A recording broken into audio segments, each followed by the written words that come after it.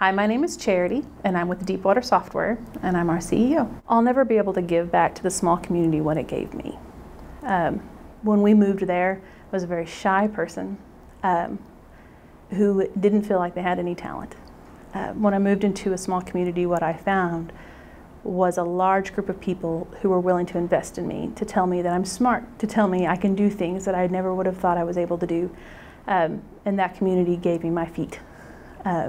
Those teachers, those students, those coworkers, those um, the people I grew up with that I know first, middle, and last name, all 14 kids in my class. um, they gave me the what I have today, and so just the ability to offer it back, um, I'll never be able to repay what they did.